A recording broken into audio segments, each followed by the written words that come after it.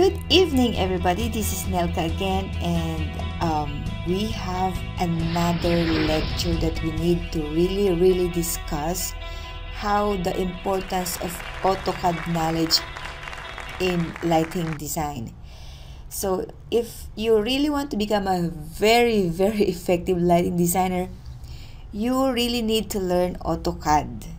I mean, not just how to use the AutoCAD software, but how to read the drawings, especially in AutoCAD file. Because you can also read drawings in PDF or in the paper printout. But in AutoCAD, you need to understand what is inside the drawing. So for example, I have here one drawing of a retail shop with an outdoor parking and you can see here the entrances and everything and also the luminaire layout one of the most important thing for you to learn is to identify which one of these so many lines is the wall the window the doors and the other boundaries. For example here in this drawing there are so many colorful lines circular rectangular straight lines curved lines. And being a lighting designer you need to know which one is which Sometimes you can find it here in the layer tab. For example, what is this hidden line means. And when you check it in the layer, you will find out that the hidden line is not proper properly layered and it says here it's a door. And for example, if you want to check another one, like for example, this one, and we can see that this one is a, okay, it's a plafond. I don't know what is that means and for example that one it's a15 line.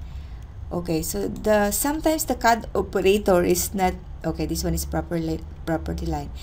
Sometimes the CAD operator is not really using the um, the layer properties.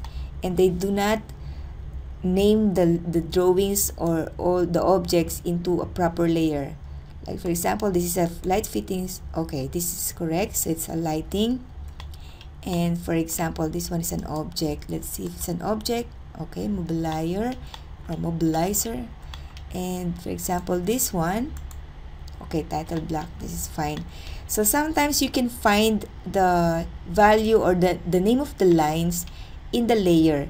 But most of the time if the CAD operator is really lazy they will not layer, layer uh, name it properly in the layer so you need to identify and you need to find out what is the meaning of that line.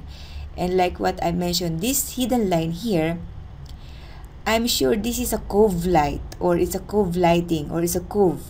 So the uh, for example this yellow uh, here is a luminaire. I'm sure it's a luminaire. And if you also want to double check that one sometimes there's also a legend and you can find out this luminaire is like this one. So it means it's a surface mounted luminaire. And this one is a, a linear or a recessed um, luminaire here with uh, two gimbals or few gimbals on that one. And I'm sure this one is a downlight. But if you ask me what is this one the blue or the cyan hidden line I can say this is a cove light but for a regular person who doesn't know how to read or understand AutoCAD they may not understand what the meaning of this hidden line is. So another one thing is, for example, there's a column here. How the lighting designer identify which one is column and which one is not. For example, there's a box here. Okay, for me, I, I understand that this is a column and there's a wall here. And if the lighting designer don't know what is the meaning of this, how many lines, six lines here, it will be a big mistake because maybe this one is a wall or just a low partition or a furniture or a fixture. And yeah so if it's not properly labeled you need to ask um, the client or I'm sure it, they will not tell you everything about it but you need to find out yourself which one is which. For example this one these are the display fixtures because this showroom is about uh, the sanitary fixtures. So these are the bathtubs and everything. And you can see here that there is another cove light and suspended luminaires here. But here on this side you can see that there is red and then another yellow and purple colors of lines here. I'm sure in my own opinion it means it has glass here and this round one is a column so if you are a lighting designer you need to find out what is the meaning of these lines really. Otherwise you will made a mis- you will make a mistake in your room creation and your um, ceiling design. And sometimes you can see here the, I'm thinking this is a reflected ceiling plan because you can see your diffusers and and some downlights and cove lights and everything. But the, the the CAD operator put also the fixtures displays here also in the office.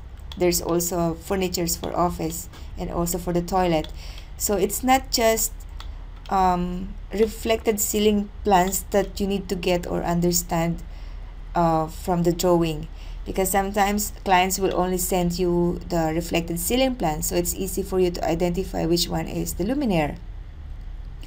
But sometimes you will get confused which one is the luminaire and which one is the fire uh, sprinkler and the one is and which one is the diffuser or AC grill. So you really also need to check that one. For this one this is stair it's easy these are the steps. And but what is the meaning of those circular lines you uh, circular objects you might get confused of this one as a fixture which is it's not because the fixture is here. So this is just a drafting techniques techniques so you, you should not confuse on this one. And with this one I would like to uh, mention to you to all of my subscriber to please please learn how to use AutoCAD and how to understand and read it. It's really important. If you really want to become an effective lighting designer, study how to use AutoCAD and study how to read the drawings. Alright? So that's it for now and see you on the next tutorial. Bye!